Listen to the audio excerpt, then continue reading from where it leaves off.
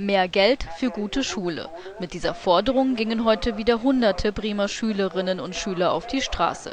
Sie demonstrierten gegen die rot-grüne Bildungspolitik. Unterstützung bekamen sie dabei von der CDU-Bürgerschaftsfraktion.